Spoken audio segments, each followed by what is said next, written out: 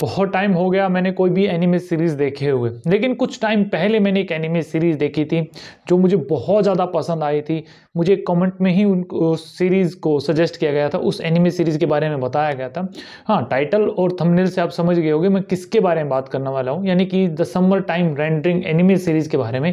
इस anime series में लगभग 25 एपिसोड हैं, और 25 एपिसोड यानी ये पूरी जो स्टोरी है, इन्हीं 25 एपिसोड में खत्म हो जाती है। इसका मतलब ये हुआ कि देखो, इसका कोई सीज़न नहीं आने वाला है। अब आते हैं इस एनिमे सीरीज़ की स्टोरी के ऊपर। देखो, ज़्यादा कुछ नहीं बताऊँगा, जैसे मेरे ऊपर इल्ज़ाम लगता आ रहा है कि भाई आप स्पॉइलर दे देते हो। खैर, मैं इसका बहुत अच्छे से ध्यान रखने वाला हूँ। तो स्टोरी शुरू होती है एक लड़का जिसका नाम होता है शैन पाई जब वो अपने होम टाउन में अपने दोस्त के फ्यूनरल पर वापस आता है। अब इस, जैसे ये वापस आता है तो इसके ऊपर कुछ अटैक होने स्टार्ट होते हैं। अटैक जो है, वो एक परछाई है शेडो है, उनके द्वारा अटैक होना स्टार्ट होता है। उनकी कुछ एक अलग ही प्लानिंग होती है।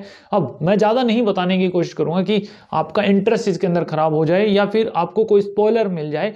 तो यहाँ पर जब ये वापस आता है तो सेम इसके ऊपर चीज़ें होती हैं, कुछ अटैक होते हैं, और सैनपाई के पास एक पावर भी है। वो काफ़ी ज़्यादा इंटरेस्टिंग मुझे लगी, और जिस तरीके से उस पावर का यूज़ किया गया है, बहुत ज़बरदस्त मुझे लगा। इस पूरी सीरीज़ के अंदर, इस 25 एपिसोड्स के अंदर, जैसे उस पावर को यूज़ किया गया, बहुत बढ़िया। एक और करेक्टर है इस एनिमे सीरीज़ के अंदर, जिसको अगर मैं इंट्रोड्यूस या जिसके बारे में अगर मैं बात नहीं करूँगा तो मुझे थोड़ा सा मुझे अच्छा नहीं लगेगा। मुझे लगेगा मैंने अधूरा रिव्यू कर दिया। उस करेक्टर का नाम है उशियो देखो, ये जब भी इंट्रोड्यूस होती है किसी भी मतलब एपिसोड के अंदर, ज़्यादातर ये रहती है। तो यहाँ पर जब इंट्रोड्यूस होती है तो जिस तरीके का इसका बोलापन मतलब भोलापन भोलापन, और इसकी क्यूटनेस और जैसे बड़बड़ करती है, और इसके पास भी एक पावर है। अब उशियो भी काफ़ी ज़्यादा एक मिस्टीरियस करेक्टर आपके लिए रहेगा। क्यों, ये कहाँ से है, क्या है, कैसे है? मतलब जब आप जानोगे ना, आप होश उड़ने वाले हैं, बहुत बढ़िया मुझे ये करेक्टर लगा और इसके बिना तो यार सीरीज़ अधूरी ही रह जाती।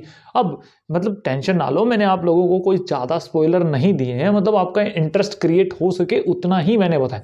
स्टोरी को बहुत अच्छे से डेवलप किया गया है टाइम ट्रैवलिंग का एक कॉन्सेप्ट या टाइम का एक कॉन्सेप्ट इसके अंदर यूज़ किया गया है, बहुत अच्छा है। मतलब जिस तरीके से स्टोरी के साथ उस कॉन्सेप्ट को मिलाया गया है, जैसे उसको यूज़ किया गया है, वो बहुत ज़्यादा आप लोगों को पसंद आने वाला, मुझे रियली में वो कॉन्सेप्ट मुझे बहुत ज़्यादा पसंद आया।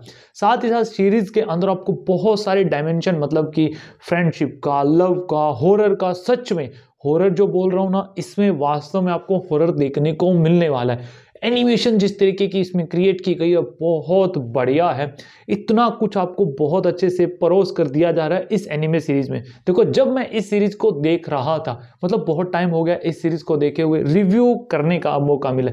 तो एक एक एपिसोड आते थे हर हफ़्ते, बेसब्री से इंतज़ार रहता था इस सीरीज़ का, इस सीरीज़ के हर एपिसोड का कि यार, अब आगे क्या होने वाला है, अब आगे क्या होने वाला है।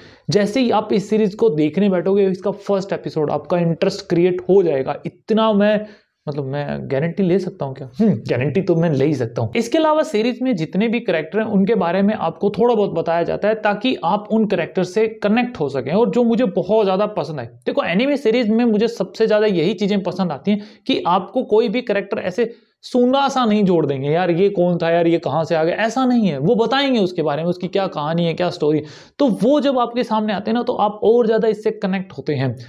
मतलब इसमें आपको फाइटिंग भी देखने को मिलेगी कहीं कहीं पर। वो ज़्यादा नहीं है, उससे ज़्यादा उम्मीदें मत लगाना। स्टोरी आपको बाँध कर रखेगी, चीज़ें कैसे हो रही हैं, कैसे आप इस मतलब कोश ठीक है, ज़्यादा नहीं बताते हैं। मतलब ओवरऑल अगर इस सीरीज़ की बात करूँ तो बहुत ज़्यादा आपको ये सीरीज़ पसंद आने वाली है। मुझे रियली में बहुत ज़्यादा पसंद आए।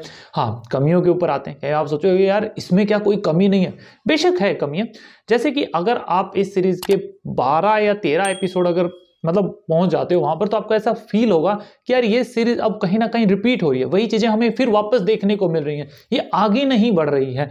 थोड़ा बहुत आपको ऐसा फील होगा। और शैनपाई के पास जो पावर है, उसको लेकर भी आप थोड़ा बहुत ये सोचेंगे, यार, इसके पास ये पावर कहाँ है?